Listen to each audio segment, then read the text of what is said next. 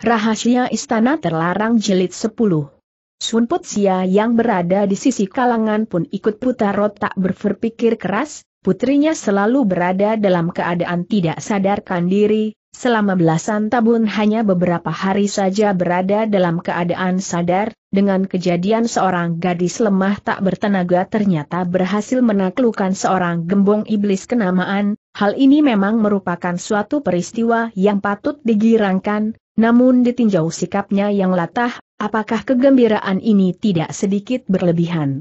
Suatu ingatan berkelebat lewat dalam bonanya, kepada Xiao Ling segera ia bertanya, Saudara Xiao, tahukah Anda dengan care apakah Nona Lam Kong mengundurkan musuh tangguh?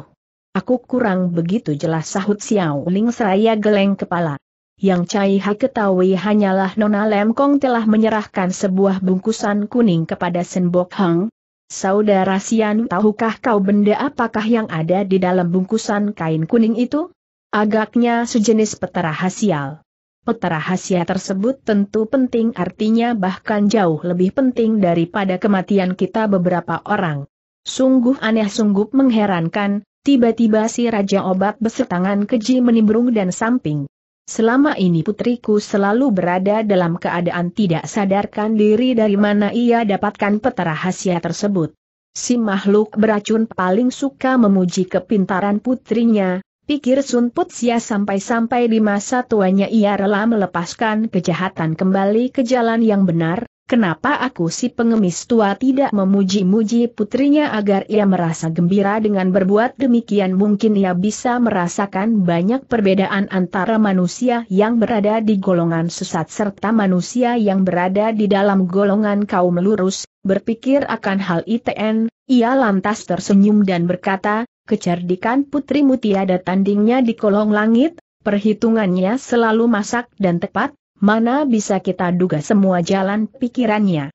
Tidak salah lagi, si Raja Obat bertangan keji kontan jadi kegirangan setengah mati setelah mendengar pujian itu.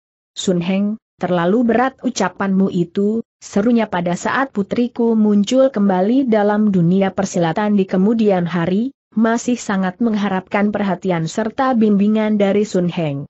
Dengan senang hati akan kulaksanakan permintaanmu itu. Pada saat ini kedua orang tua Xiao Tai Hiap sedang menantikan kehadiran putra kesayangannya, silahkah Sun Heng membawa Xiao Tai Hiap untuk berjumpa dengan ayah ibunya, rasa cinta seorang ayah dan ibu terhadap putra-putrinya akulah yang tahu paling jelas. Bagaimana dengan Lo Chiampue? Untuk sementara waktu Lo Ohu hendak berpisah dulu dengan Cui sekalian. Ke mana kau akan pergi tanya si pengemis tua. Keadaan putriku dalam kondisi penyembuhan, bila membiarkan dia berada dalam keadaan begini terus bukankah tindakanku ini merupakan suatu tindakan yang patut disesalkan sepanjang masa? Aku hendak mencari suatu tempat di tengah pegunungan yang sunyi dan terpencil untuk mengasingkan diri, aku akan menggunakan seluruh kepandaian yang kumiliki untuk mencari bahan obat mujarab, membuat pil mustajab dan dengan meminjam khasiat obat-obatan tersebut akan kugunakan untuk menutupi kekurangan-kekurangan tubuh putriku, aku hendak menggunakan tempo selama tiga tahun untuk menciptakan sekuntum bunga aneh bagi dunia persilatan. Entah di mana terdapat obat mujarab, di mana kau hendak mencarinya.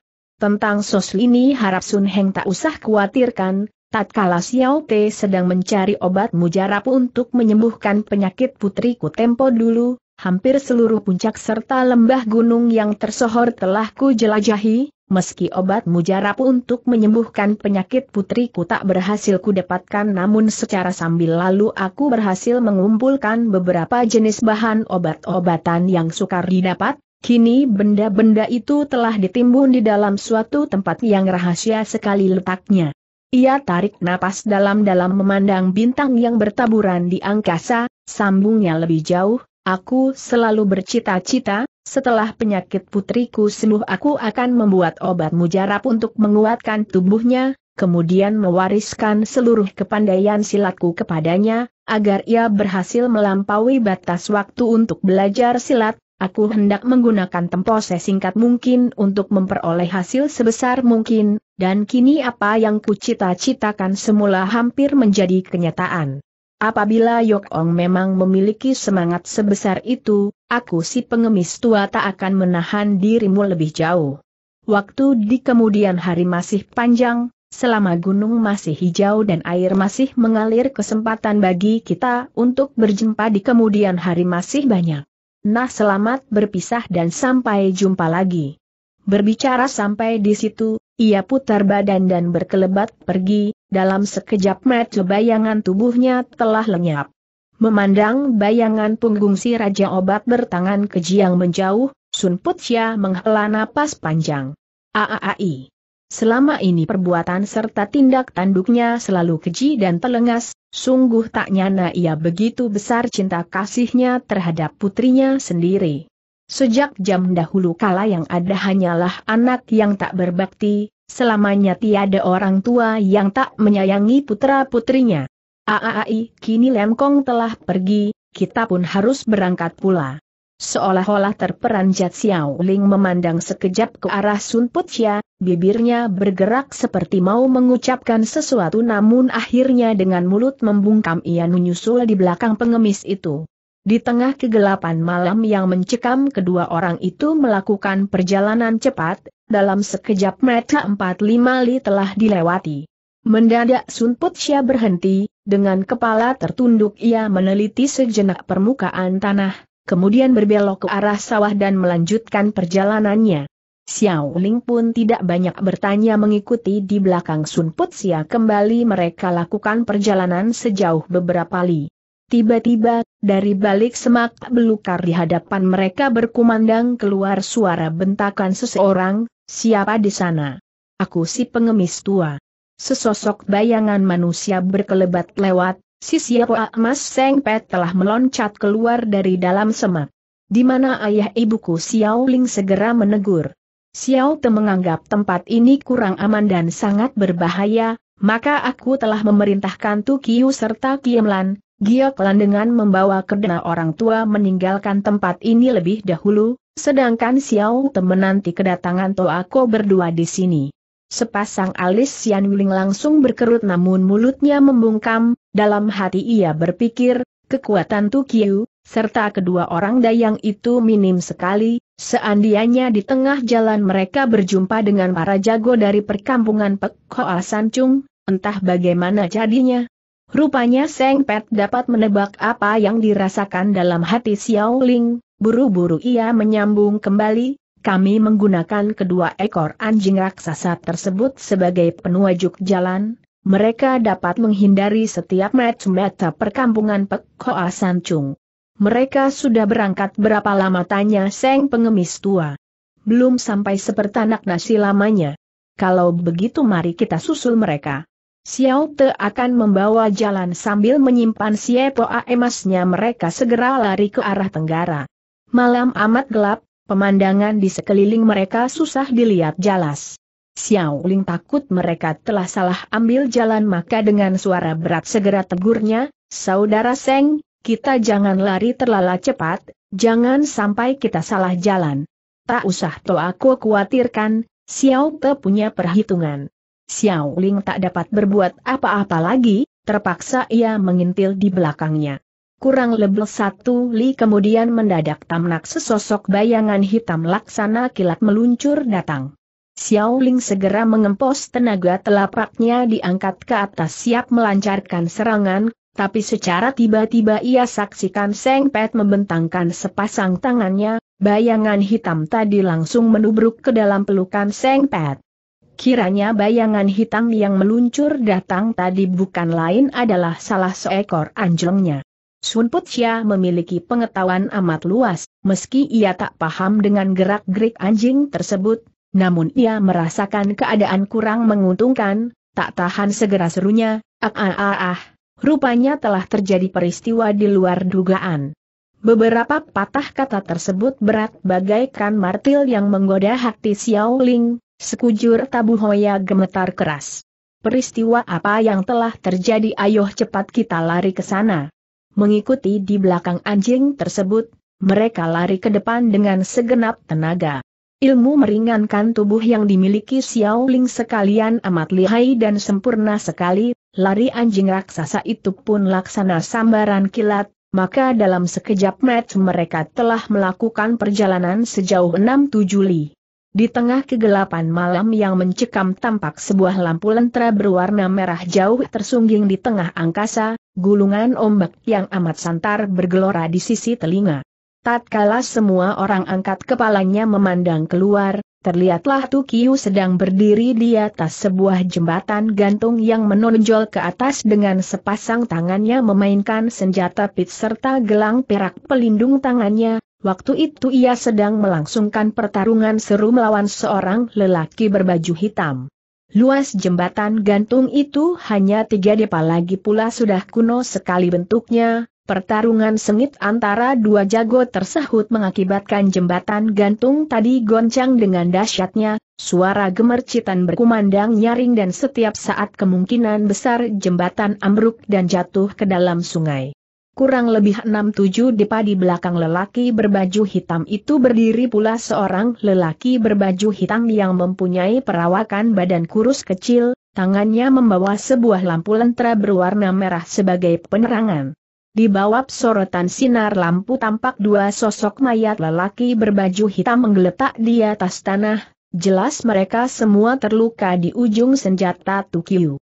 Dalam pada itu di ujung jembatan gantung tadi tampak bayangan manusia saling berkelebat, secara lapat-lapat tampak sebuah patung yang maha besar berdiri dengan angkernya di tengah kegelapan. Ah-ah manusia-manusia keparat dari perkumpulan Sinhang Panggumam Xiao Ling buru-buru ia lari ke depan dan meloncat naik ke atas jembatan gunung itu. Saudara Xiao, teriak Sun Put Sia keadaan jembatan gantung itu sudah terlalu parah, mungkin tidak kuat memuat dirimu pula, jangan gegabah, apa gunanya menempuh bahaya dengan percuma setelah kita tiba di sini? Rasanya tak usah lari pada mereka lagi suruh Tukiu mengundurkan diri dari atas jembatan-jembatan. Xiao Ling menimbang sejenak keadaan situasi di atas jembatan, kemudian menjawab, posisi Tukio berdiri pada saat ini cuma terpaut satu tombak dari permukaan tanah sekalipun jembatan gantung itu tidak kuat dan jebol rasanya ia masih sempat meloncat balik ke tepian. Biarlah Xiao Te yang menyambut kedatangan saudara Tu Seng Pat sambil memperselapkan senjata Siepoa emasnya. Sedang Toa ko temuilah lebih dahulu kedua orang tuamu. Tidak menunggu jawaban lagi Sang Elo Toa dari sepasang pedagang ini segera meloncat naik ke atas jembatan teriaknya keras, Elo Ojie, cepat mundur dan beristirahat sejenak, serahkan saja manusia ini kepadaku. Meski bentakan itu tidak begitu keras, namun Tukiu tetap tidak menggubris ucapan tadi, senjata di tangan tetap diputar gencar hal ini jelas menunjukkan bahwa pertarungan tersebut berjalan amat sengit. Pengalaman Seng Pat amat luas, tatkala ia saksikan Tukiu tidak menjawab segera tahulah dia bahwa keadaan sedikit tidak beres, Hawa murni dengan cepat disalurkan ke seluruh tubuh kemudian menerjang ke atas jembatan. Dalam pada itu Xiao Ling sedang memutar sepasang biji matanya mencari tahu tempat persembunyian kedua orang tuanya, ketika ia tidak berhasil menjumpai Kiem Lan. Giok Lan sekalian, hatinya terasa amat gelisah, pikirnya, seandainya kedua orang dayang itu membawa kedua orang tuaku bersembunyi di sekitar sini, semestinya sekarang telah munculkan diri, mengapa hingga kini tidak kelihatan juga batang hidungnya? Belum habis ia berpikir, tampak sesosok bayangan manusia meluncur datang dengan cepatnya. Ketajaman Xiao Ling melebihi orang lain, dalam sekejap mata ia telah saksikan bahwasannya orang itu bukan lain adalah Kiem Lan, maka ia lantas berseru, Kiem Lan kedua orang. Eloya serta Hujian berada dalam keadaan aman dan tidak kekurangan apa pun jua, tugas Kiem Lan sambil menerjang ke hadapan Xiao Ling. Sebaliknya Giolan telah menderita luka parah, budak telah membawa mereka bersembunyi di balik semak belukar yang lebar. Hingga kini Tujia telah membinasakan empat orang musuh tangguh mungkin isi perutnya telah terluka. Kongcu cepatlah tolong dia dan gantikan kedudukannya.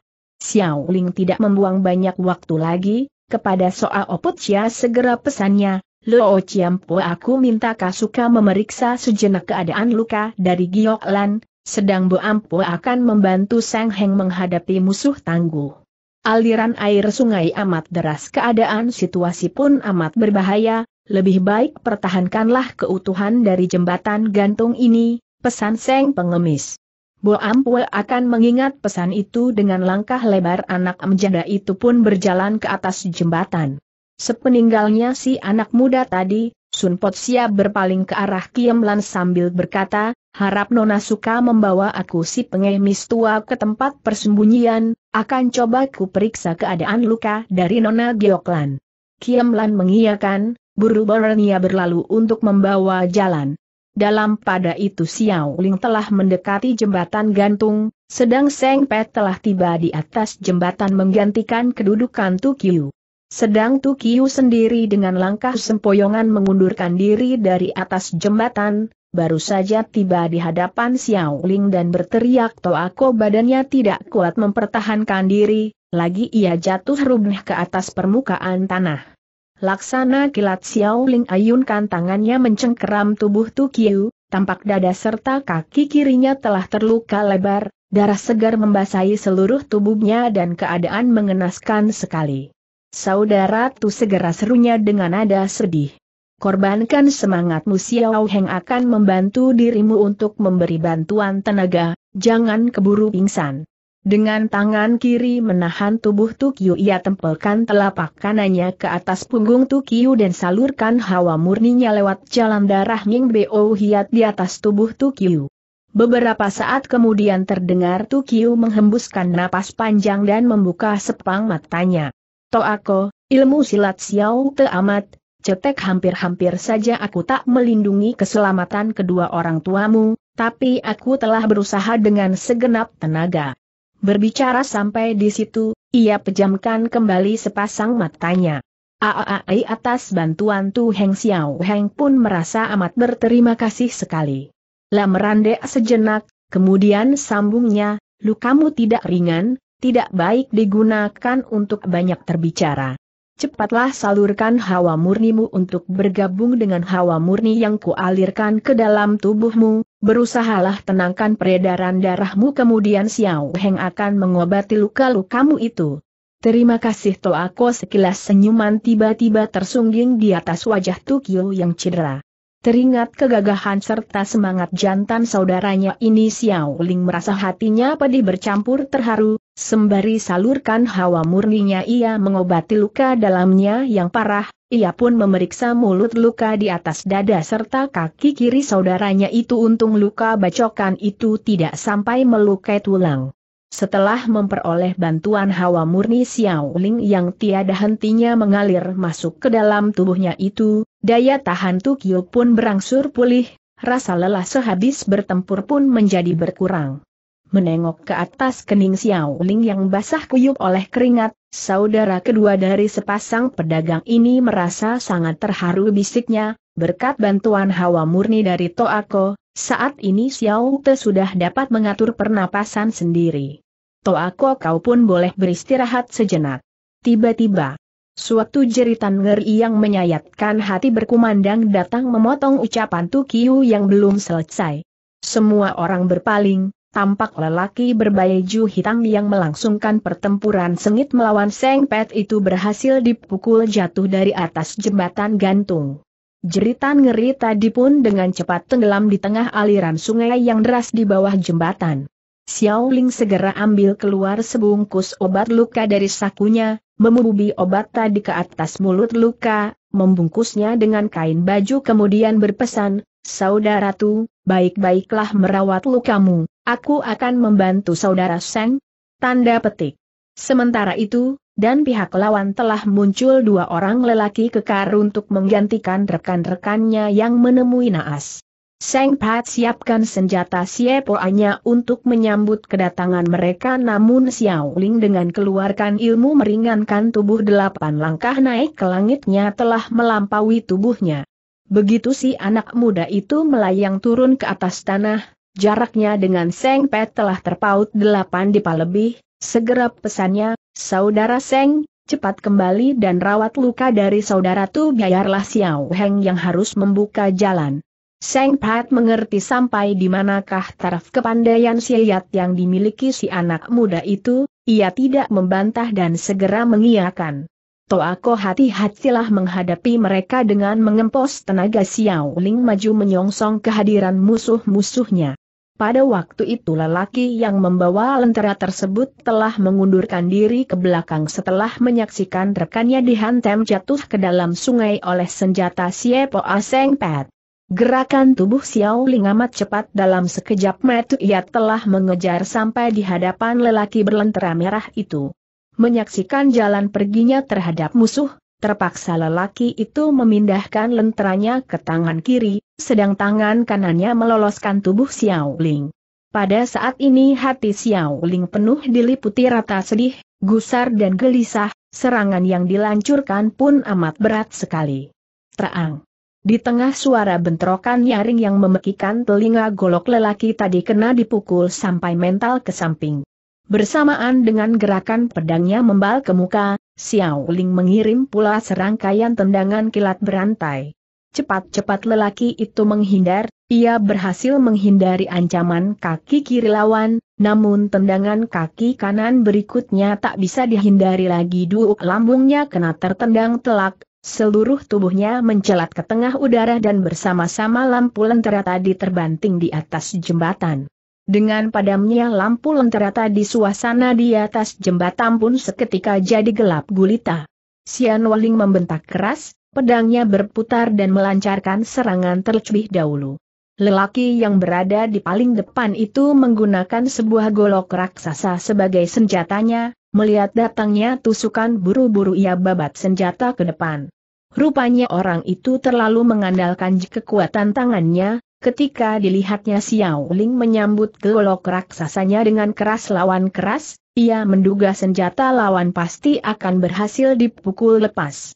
Siapa sengkeka peristiwa yang kemudian terjadi jauh di luar dugaannya, tatkala golok serta pedang itu saling membentur, dari ujung pedang Xiao Ling seolah-olah muncul suatu tenaga yang berwujud, Kekuatan dahsyat yang dipancarkan keluar dari tangannya tadi dengan amat gampang berhasil dibuyarkan sementara pedang lawan laksana kilat telah membabat ke bawah.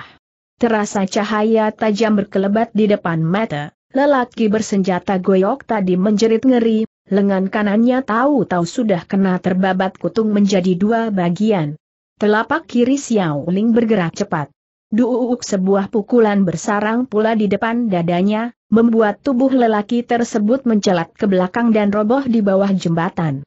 Setelah pukul roboh lelaki tadi, kaki kanan Xiao Ling bergerak cepat mencukil golok raksasa lawannya yang menggeletak di atas tanah, kemudian dengan tangan kiri mencekal gagang golok tadi ia sambit senjata tersebut sebagai senjata rahasia mengancam lelaki kedua yang telah menyongsong datang itu. Ketika menyaksikan rekannya telah roboh di tangan musuh belum sampai dua jam, lelaki itu sudah tertegun, kini menyaksikan datangnya sambaran golok raksasa ia makin mendekat. Di saat-saat yang paling kritis itulah, badannya buru-buru berkelit ke samping untuk menghindarkan diri. Luas jembatan gantung itu cuma tiga depa dalam keadaan gugup lelaki itu menghindar ke samping, maka tidak ampun lagi kepalanya menumbuk di atas tiang pengaman jembatan tadi membuat kepalanya pusing tujuh keliling dan mata terasa berkunang-kunang. Seret golok rakyasa tadi diringi desiran angin tajam telah menyambar lewat dari sisi tubuhnya sekalian membawa pergi lengan kirinya yang tak sempat menghindar. Lelaki itu menjerit kesakitan, pikiran kedua belum sempat berkelebat dalam benaknya sebuah tendangan kilat telah membuat badannya mencelat jatuh dari jembatan. Kiranya Xiao Ling merasa amat khawatir atas kehadiran bala bantuan dari Senbok Hang, maka ia merasa pada saat ini harus menggunakan gerakan yang paling cepat untuk menyelesaikan musuh-musuhnya, agar ia punya kesempatan membawa kedua orang tuanya meloloskan diri dari situ. Malam semakin amat gelap, rupanya musuh-musuhnya yang ada di seberang jembatan tak seorang pun yang tahu akan hasil pertarungan rekan-rekannya, meski kedua orang lelaki itu sudah roboh namun tiada bala bantuan yang muncul iagi. Mengambil kesempatan baik itulah Xiao Ling mengempos tenaga dan menerjang turun dari jembatan. Pada waktu itu di ujung jembatan tampak dua orang lelaki kekar bersenjata golok berkepala setan sedang melongo ke arah jembatan. Jelas mereka tidak pernah menyangka bahwa kedua orang bala bantuan yang barusan dikirim dalam sekejap mata sudah roboh binasa di ujung pedang Xiao Ling. Gerakan tubuh si anak muda itu luar biasa cepat Neva, menanti kedua orang itu sadar akan bahaya. Xiao Ling telah tiba di ujung jembatan pedang di tangan kanannya dengan gerakan, Hei Husinelo menciptakan selapis bayangan pedang yang menyilaukan mata menyerang orang yang ada di sebelah selatan, sedang tangan kirinya dengan ilmu totok Xiao Wei Lo Osinchi menyerang musuh di utara. Sungguh dahsyat ilmu totokan tersebut, Lelaki di arah utara itu belum sempat melihat jelas wajah Xiao Ling, jalan darah penting Hian Kia Hiat di atas dadanya sudah terhajar telak oleh ilmu Xiao Wei Lo Osinci tersebut, tidak sempat berteriak lagi badannya roboh ke atas jembatan. Sedangkan orang yang ada di sebelah selatan tatkala menyaksikan berlapis-lapis bayangan pedang mengurung kepalanya, dengan gugup putar goloknya untuk menangkis, Siapa sangka tangkisannya mengenai sasaran yang kosong. Suatu ingatan yang mengerikan terbayang di atas wajahnya, buru-buru ia putar badan siap melarikan diri, sayang tidak sempat lagi cahaya pedang berkelebat lewat di atas kepalanya, batok kepala yang gede itu pun kena terbabat kutung dan rontok ke atas tanah. Dalam sekejap mata Xiao Ling telah menyelesaikan lagi dua orang musuhnya, ia teruskan langkahnya menerjang ke depan.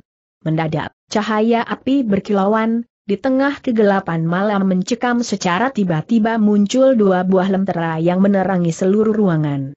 Xiao Ling menghembuskan napas panjang, ia mendongak dan terlihatlah sebuah patung raksasa berwajah seram berdiri dengan seramnya kurang lebih empat tombak di depan mata. Delapan orang lelaki berbaju serba hitam dengan senjata terhunus berdiri berjajar-jajar di hadapan patung Arya tersebut. Empat orang lelaki tinggi besar berbulu hitam, bercelana pendek dan di tengah mirip manusia, setengah mirip kunyuk berdiri di kedua belah samping patung tadi. Sedangkan di belakang area tersebut tampak bayangan manusia bergerak rapat, entah berapa puluh orang jago bersemayam di situ. Sin Hang Pangcu tegur Xiao Ling sambil menyilangkan pedangnya di depan dada. Kalau kau ingin angkat nama di dalam dunia persilatan mengapa tidak berani menjumpai orang dengan wajah aslimu? Hum berlagak misterius menyeru jadi malaikat, kau anggap bisa menakut-nakuti orang? Siapa kau? Besar benar bacotmu serentetan suara yang merdu dan nyaring muncul dari balik patung Arya. Sepasang alis Xiao Ling berkerut pikirnya, kalau didengar dari suara pembicaraannya, Jelas dia adalah seorang wanita sungguh tak nyana seorang perempuan ternyata dapat menciptakan sebuah patung-patung yang amat besar dan berwajah seram untuk bersembunyi di dalamnya. Berpikir sampai di situ, ia menjawab ketus Cai He Xiao Ling, Ling, sungguh jarang sekali menjumpai seorang perempuan bermain setan di dalam dunia kangou macam kau. Hei, patung seram Ming hanya bisa menakut-nakuti manusia dungu belaka, kalau kau ingin meminjam keseraman tersebut untuk menjagoi dunia Kangou? Ho ho ho ho ho, apa kau tidak merasakan bahwa perbuatanmu itu sangat menggelikan sekali? Rupanya orang yang berada di balik patung berwajah seram itu dibikin gusar oleh ucapan Xiao Ling, dari sepasang matanya yang gede bagaikan kepalan tangan itu secara tiba-tiba memancar keluar dua rentetan cahaya tajam. Kalian mundur semua, akan kujumpai sendiri manusia yang bernama Xiao Ling ini serunya dingin. Delapan orang lelaki berbaju hitam yang mencekal pedang itu sama-sama mengiyakan dan mengundurkan diri ke belakang patung. Pada saat ini pengetahuan Xiao Ling dalam menghadapi musuh tangguh indah amat luas sekali, Sejak kehadirannya di tempat itu secara diam-diam ia awasi terus gerak-gerik keempat manusia aneh berbulu hitam itu, menyaksikan gerak-geriknya yang lambat tonjolan otot-otot tubuhnya yang kekar ia mengerti bahwa kekuatan tubuh keempat orang itu luar biasa sekali, diam-diam ia pertingkat kewaspadaannya. Sementara itu dari balik patung Arya telah berkumandang keluar suara teguran yang amat merdu. Hei Xiao Ling, silahkan mulai turun tangan. Kau bersembunyi di balik patung area, secara bagaimana kita bisa bergebrak? Haa, haa, patung area inilah Sin Hang Pangcu, silahkan kau turun tangan dengan sesuka hatimu. Xiao Ling awasi patung area tersebut tampak tinggal patung ada satu tombak lebih empat lima, seluruh tubuhnya dicat warna-warni, ia tak tahu bagaimana harus turun tangan menghadapinya, maka ia berseru, Cai He akan menanti pelajaran, silahkan Pangcu turun tangan lebih dahulu. Di luar ia berkata demikian, dalam hati pikirnya. Selama kau masih bersembunyi dalam patung area, akan kulihat dengan care apakah kau hendak turun tangan. Meski dalam hati berpikir namun ia tak berani berlaku ayal, diam-diam si anak muda ini pun bikin persiapan. Selama kan masih bersembunyi dalam patung area, akan kulihat dengan care apakah kau hendak turun tangan. Meski dayam hati berpikir namun ia tak berani berlaku ayal, diam-diam si anak muda ini pun bikin persiapan. Dalam pada itu Xiao Ling telah berada kurang lebih satu tombak di hadapan patung Arya tersebut, tak kala dirasakan datangnya semburan cahaya putih itu amat santar, buru-buru pedangnya dibabat keluar untuk menangkis. Teraang di tengah bentrokan nyaring cahaya putih tersebut mental ke samping setelah termakan tangkisan pedang Xiao Ling. Di bawah sorotan cahaya lentera, tampak kalah cahaya putih yang barusan terpental itu bukan lain adalah sebilah pedang pendek yang panjangnya kurang lebih satu depa. Setelah terpental ke samping, Pedang pendek itu berputar setengah lingkaran di tengah udara kemudian secara tiba-tiba meluncur kembali ke dalam mulut area yang gede dan lebar itu. Xiao Ling tertawa dingin, serunya, di ujung pedang pendek itu nona ikat dengan seutas tali yang kuat, tentu saja senjata tadi bisa kau gunakan dan tarik kembali dengan sekehendak hati sendiri. HMML permainan semacam ini tak dapat dikatakan sebagai suatu permainan yang kukuai dan mengejutkan hati. Baru saja ia menyelesaikan kata-katanya, tiba-tiba terdengar suara kemeresek yang amat nyaring berkumandang di angkasa, lengan kanan Seng Arca yang gede dan kasar itu perlahan-lahan melayang datang. Xiao Ling silahkan pedangnya di depan dada siap menghadapi musuh sepasang matanya dengan tajam mengawasi terus gerak-gerik lengan arca itu. Xiao Ling terdengar Sing Ho Pangcu berseru. Kalau punya nyali beranikah kau maju sedikit lagi ke depan? Kenapa tidak berani jawab Xiao Ling sambil melangkah maju ke muka. Saudara Xiao tiba-tiba Sun Put Sia yang ada di belakang berseru. Jangan sampai terperangkap oleh siasat licik lawan. Sesosok bayangan manusia diiringi desiran angin tajam meloncat datang, sebelum tubuhnya tiba angin pukulan telah dilepaskan ke depan, segulung angin tajam dengan cepat menghantam telak di atas dada patung Arya tersebut. Tampak patung Arya yang tinggi besar itu bergoyang tiada hentinya namun tetap tak bergerak barang sedikit pun jua. Dengan tangan kanan Sun Putia melancarkan pukulan udara kosong tangan kirinya segera menyambar lengan kiri Xiao Ling dan menyeret si anak muda itu mundur ke belakang. Saudara Xiao, saat ini keadaan kita sangat tidak menguntungkan, apa gunanya mengumbar hawa amarah dengan dia bisiknya lirih. Ucapan Lo Chiam Puan memang tidak salah, tetapi ia menghadang jalan perginya kita kalau tidak kita tundukkan lebih dahulu, dari mana kita bisa melewati rintangan ini? Kenapa kita tidak memutar saja dari samping mereka? Di belakang patung arca itu masih tersembunyi tidak sedikit jago lihai, apakah mereka rela melepaskan kita dengan begitu saja? Bicara sampai di situ, dengan suara lirih si anak muda itu menambahkan, saat ini luka yang diderita Tukiu serta Giolan tidak ringan, Dewasa ini sudah tiada kemampuan untuk bertempur lagi, sedangkan kedua orang tuaku pun tidak pernah belajar ilmu silat seandainya kita tak dapat mengusir gerombolan Sin Hang Pang ini dan memukulnya mundur, aku rasa sulit bagi kita untuk melewati mara bahaya ini. Setelah aku si pengemis tua menerjunkan diri kembali ke dalam dunia persilatan, dari anak murid perkumpulan kami aku dapat tahu tentang keadaan dari patung area ini. Tanda pengenal dan perkumpulan Sin Hang Pang ini aku dengar dibuat oleh 12 orang ahli kenamaan selama 10 tahun lamanya, alat rahasia yang dipasang dalam patung tersebut luar biasa dahsyatnya, bukan saja tangan serta kakinya dapat berputar sambil melancarkan serangan bahkan dapat pula melepaskan 36 macam senjata rahasia yang berbeda. Aku dengar di antara senjata rahasia pun ada kabut beracun serta air beracunnya merupakan senjata yang terkeji. Barang siapa berani melangkah satu tombak dari hadapannya, serta ia pun memiliki ilmu silat yang bagaimana lihai pun serta gerakan tubuhnya bagaimana cepat pun jangan harap bisa terhindar dari halangan kabut beracun serta air beracunnya. Jadi kalau begitu patung arca dari perkumpulan Sin Hang Pang ini tak dapat dilayani oleh siapa pun? Setiap kabar berita yang tersiar di tempat luaran, kebanyakan pasti ditambahi, dengan kata-kata gede yang mengibul, sulit bagi kita untuk menduga keadaan sebenarnya. Tempat mereka mengatakan patung ini sangat lihai, sekalipun ada kata-kata yang sengaja dibesar-besarkan, rasanya kenyataan tidak akan terpaut terlalu jauh. Kini kau adalah satu-satunya cuan penolong yang dapat menyelamatkan umat bulim dari kemusnahan, di samping itu harus melindungi pula keselamatan kedua orang tuamu, apabila bukan terdesak oleh keadaan lebih baik janganlah mengambil jalan untuk adu jiwa, seandainya memang tiada jalan lain, ya ah apa boleh buat, tetapi selama masih ada kesempatan untuk menghindar-hindarilah jalan yang menempuh bahaya, lagi pula pihak lawan bukan menghadapi dirimu dengan tangan telanjang, apa sih gunanya mengumbar nafsu terhadap senjata rahasia, kabut beracun serta air beracun. Lain bagaimana menurut pendapat Lo E?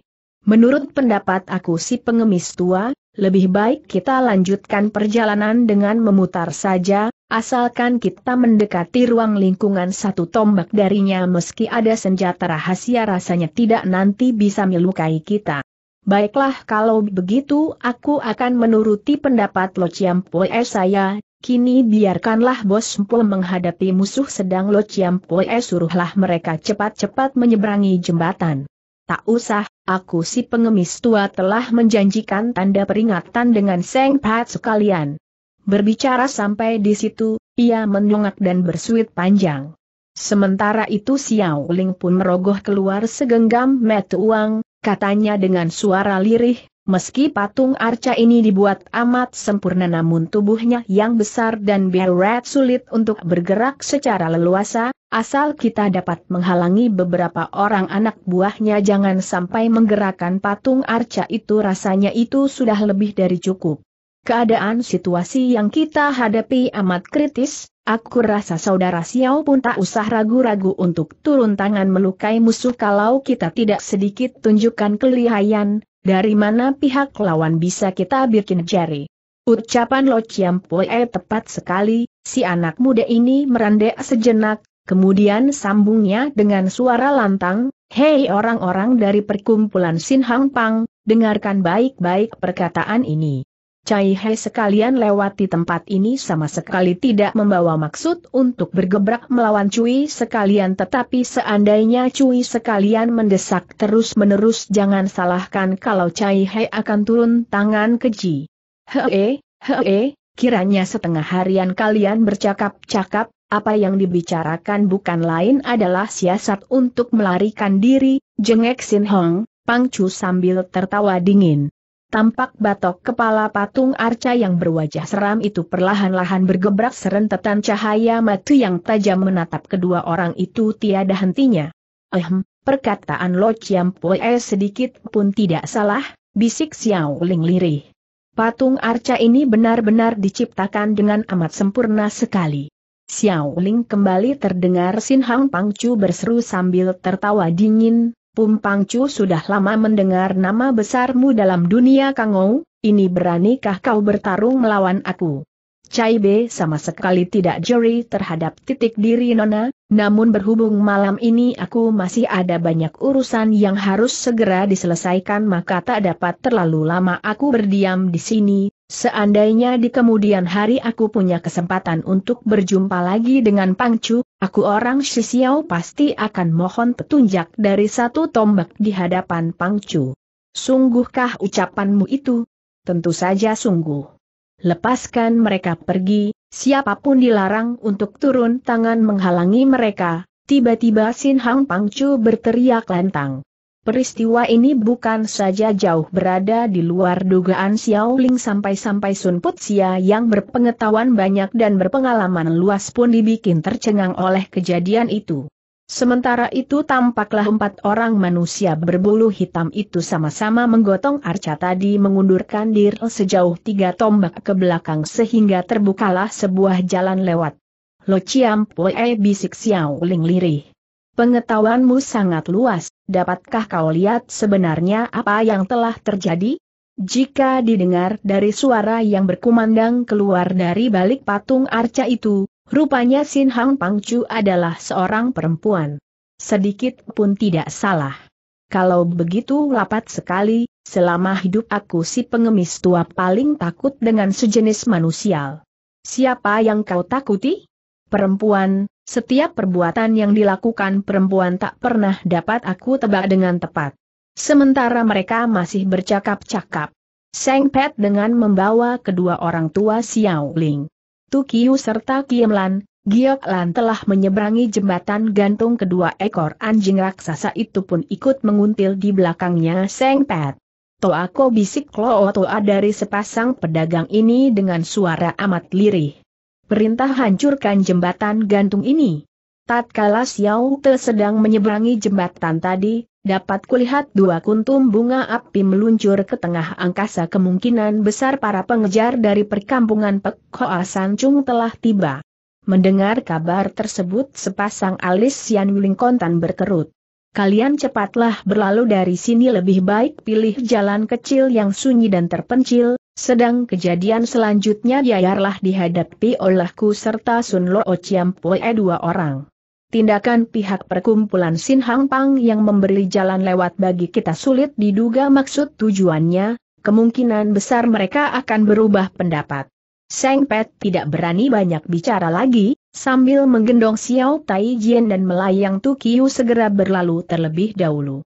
Kiam Lan dengan menggendong Xiao Hujian serta memayang Giok Lan menyusul di belakang Seng Pat. Menyaksikan kedua orang tuanya itu menderita akibat perbuatannya selama ini dalam dunia, persilatan, Xiao Ling merasa amat sedih sekali, tak terasa titik-titik air mata jatuh berlinang membasahi wajahnya. Agaknya Sin Hang Pangcu adalah seorang perempuan yang pegang janji, selama rombongan Seng Pet mengundurkan diri dari situ, mereka sama sekali tidak turun tangan menghadang. Menanti Seng Pat semuanya telah pergi jauh, Xiao Ling baru berbisik kepada Sun Putia. Lo Chiao Poe, kita pun harus segera mengundurkan diri, baik, alangkah baiknya kalau kau menyapa dulu Seng Pangcu dari perkumpulan Sin Hang Pang. Xiao Ling tidak menjawab pikirnya dalam hati, ditinjau dari situasi yang terbentang di depan mata malam ini, Seandainya Sin Hang Pangcu benar-benar turun tangan, mungkin kedua orang tuaku, serta Tukiu dan Giok Lan yang terluka sukar untuk lolos dari sini dalam keadaan selamat. Aaai memang sepantasnya aku menyapa dulu kepada dirinya. Segera ia menjura ke arah patung dan berseru, baik hati Pangcu yang ditujukan pada malam ini, aku orang Shisiao akan ingat selain dalam hati, kemudian hari aku pasti akan membalas kebaikan ini. Tak usah berterima kasih lagi, nah cepatlah berlalu. Ayo jalan, bisik Sun Putsia, sambil menarik tangan Xiao Ling, mereka segera berlalu dari situ. Ilmu meringankan tubuh yang dimiliki kedua orang ini amat sempurna, dalam sekejap mata mereka telah berhasil menyusul Seng Pat sekalian. Menanti mereka telah bergabung dengan rombongan, Sun Putia menghembuskan napasnya panjang katanya, Saudara Xiao, kalau didengar dari nada ucapan Sin Hang Pangcu barusan rupanya mereka tidak mengandung rasa permusuhan dengan dirimu. Hingga kini Bo Ampoe pun masih belum mengerti apa sebabnya secara tiba-tiba ia bisa buyarkan rasa permusuhan dan menjadi sahabat. Akal hati kaum perempuan memang paling sukar diduga, lebih baik tak usah kita pikirkan lagi, Oh oh ya ada satu persoalan penting hendak ku bicarakan dengan dirimu, entah saudara Xiao hendak memutuskan secara bagaimana? Urusan apa? Dewasa ini makin tersohor namamu dalam dunia persilatan, Semakin banyak permusuhan yang kau ikat, terutama sekali Senbok Hang, ia telah menganggap dirimu sebagai duri di atas mata. Kekuasaan serta pengaruh perkampungan Pek Sancung amat besar, aku rasa bahkan ada di atas partai-partainya besar dewasa ini sedang kau dengan sendirinya berubah jadi pemimpin di antara para jago-jago di kalangan lurus, kekacauan yang terjadi dalam bulim saat ini tak akan bisa tenang kembali dalam tiga im tahun mendatang, aku pengemis tua menasehati dirimu lebih baik pikulah beban ini. Tentu saja aku akan membantu dirimu dari samping sekalipun mati juga tidak menyesal.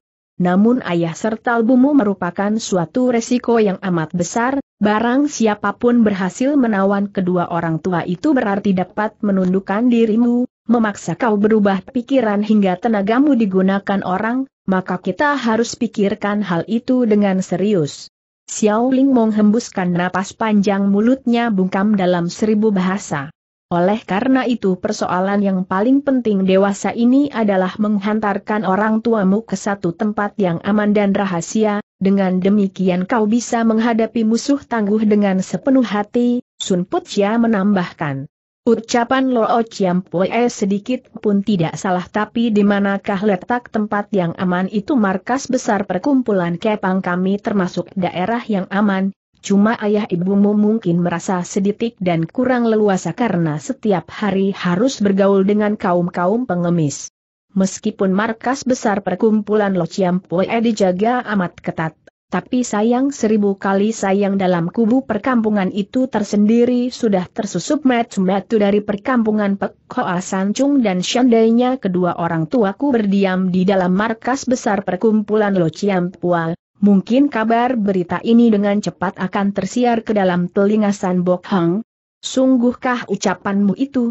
Lo Chiam Pue sebarusnya kau tahu bukan bahwa aku tak pernah bicara tak karuan sebelum ada bukti.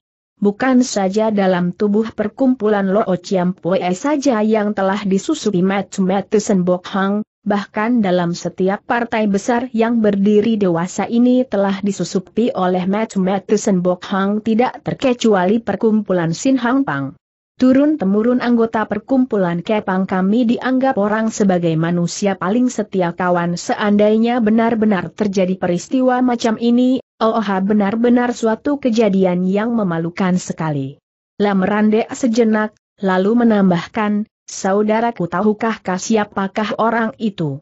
Tatkala Senbok Hang mengumpulkan mereka, pada wajah mereka memakai kerudung hitam semua, sehingga sulit bagi Boan PWE untuk mengenalinya.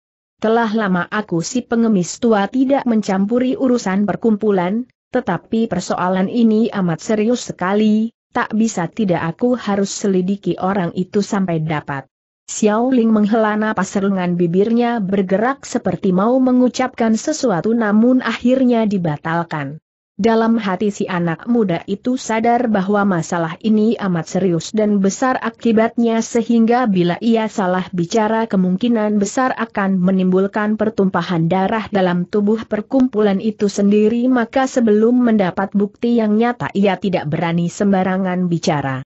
Sun Putia mendehem ringan, lalu berkata kembali, ketika Senbok Hang menderita luka parah tempo dulu, Seandainya para jago yang mengejarnya dia mau bersabar betul mencari dengan seksama kemudian menghukum mati dirinya, dunia persilatan pun tidak nanti akan jadi kacau macam ini hari. Aai membabat rumput tidak ke akar-akarnya, timbullah bibit bencana seperti sekarang ini, mungkin kejadian ini jauh di luar dugaan para jago yang mengejar gembong iblis tersebut dahulu. Ilmu silat yang dimiliki orang ini bukan saja amat sempurna dan sukar diukur, kelicikan serta kekejamannya sukar ditandingi pula oleh orang lain, yang aneh mengapa justru manusia semacam ini berhasil mengumpulkan jago bulim sebegitu banyak untuk jual nyawa kepadanya. Orangnya pandai mengumpulkan orang akalnya licik hatinya kejam dan ilmu silatnya lihai, tentu saja namanya cepat menjulang ke angkasa, Pengemis tua itu merandek sejenak lalu melanjutkan. Kalau memang Kepang tak bisa didatangi, lalu bagaimana rencana saudara mengenai kedua orang tuamu? Bo Ampoe pun tak mengerti di manakah merupakan tempat yang aman F. Saudaraku, kau harus menyelesaikan dahulu masalah kedua orang tuamu secara baik-baik, dengan demikian kau baru dapat bertindak leluasa dalam dunia persilatan. Menurut pandangan aku si pengemis tua, nama besarmu dewasa ini sutha menggetarkan dunia Kangou, dua tiga tahun kemudian kau pasti akan diangkat sebagai pemimpin Bu. Lim dan bersaing dengan Senbok Hang serta Xiao Yao Chu selama ratusan tahun belakangan belum pernah dunia Kangou mengalami kekacauan seperti ini hari ini merupakan zaman yang paling mengenaskan bagi umat Kangou, bukannya aku si pengemis tua menyanjung dirimu, tapi ditinjau dari situasi Bulim saat ini kecuali kau seorang rasanya tiada orang kedua yang dapat menyelesaikan keadaan ini.